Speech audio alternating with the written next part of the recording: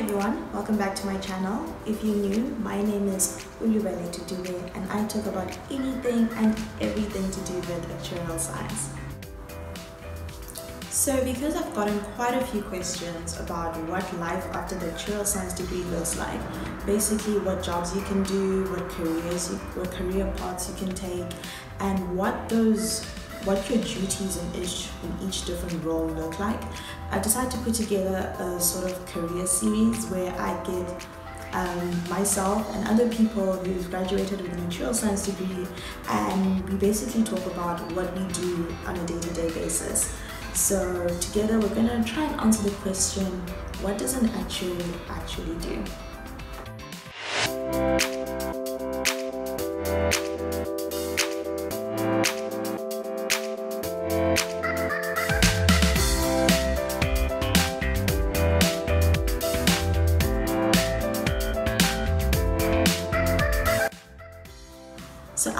Analyst working for a consultancy that mainly focuses on the health industry.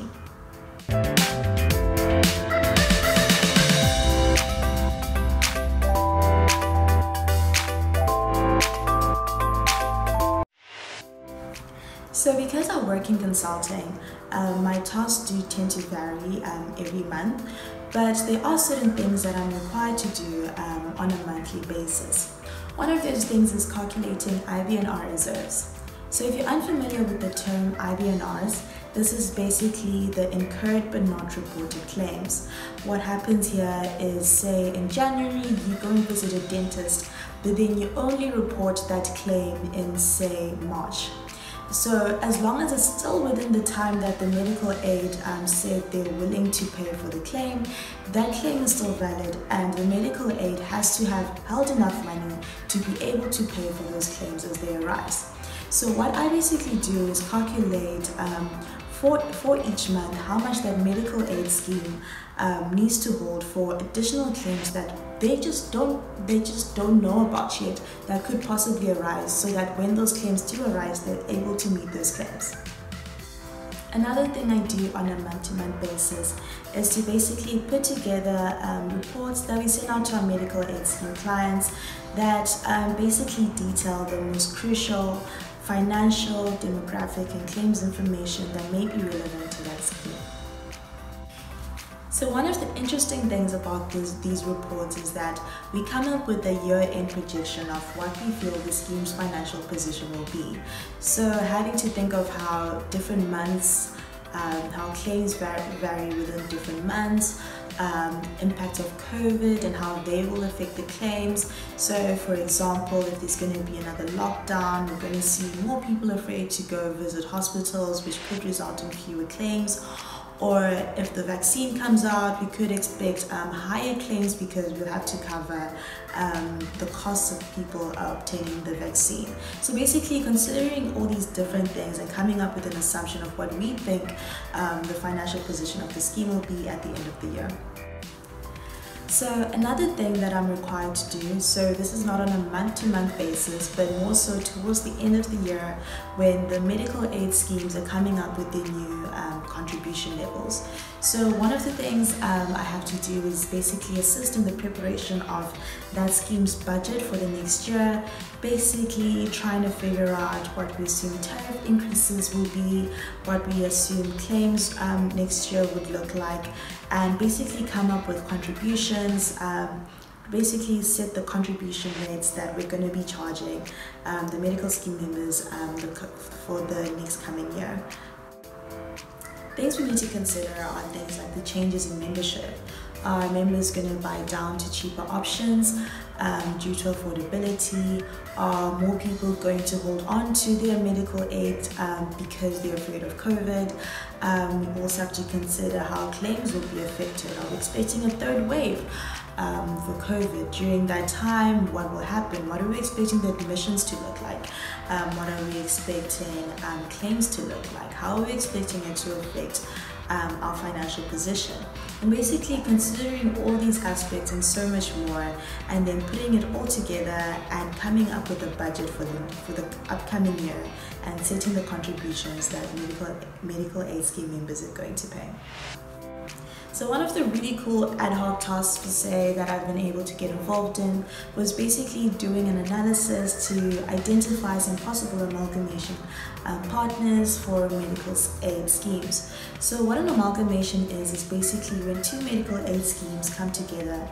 Um, this can be in the form of a bigger medical scheme absorbing the smaller medical scheme.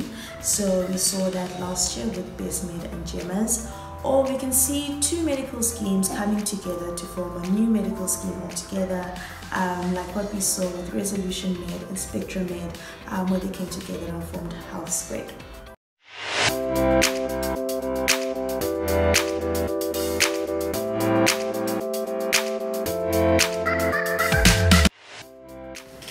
So why did I choose to be an actuarial analyst um, working in the health industry um, in consulting?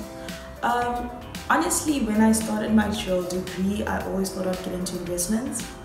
And then um, I don't know when I did um, life contingencies, I was like, wait, this is this is interesting. Um, I was actually quite I was actually quite intrigued by it. And then um, moving on to uh, CA1, actuarial risk management, and then um, actually seeing a glimpse of health insurance as well um, I that's when I kind of started looking more towards like life insurance and health. So those were like the two that I, I figured I would really want to get into.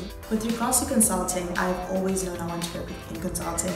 I feel like consulting is such an amazing opportunity to learn so many things in such a short space of time um, and to be involved in so many different projects. And just for your day not to ever be boring or the same, um, I feel like it's it's great for like a more exciting um, career. So that's the reason I chose um, my current career path.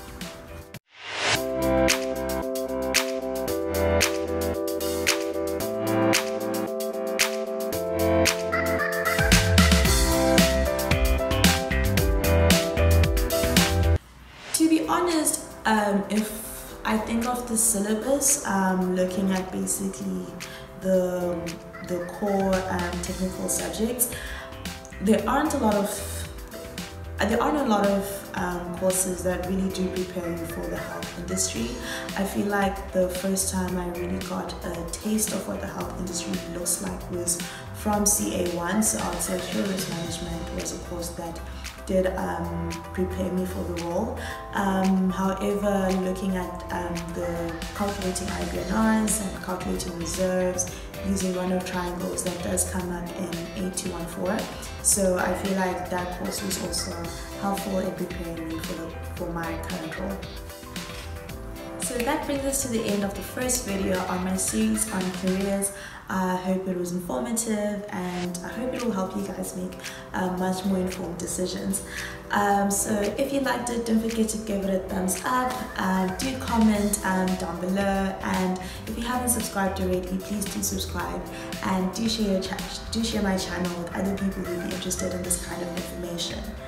Um, so before I end this video, I'm going to be having a video with a recruitment specialist, um, basically giving some interview tips and how to apply for jobs and certain things that you should consider when um, doing your job hunt search. So if there's anything that you'd want to know um, about basically getting a job, interviews, all that kind of stuff, do comment down below so I know what questions that you want me to ask them.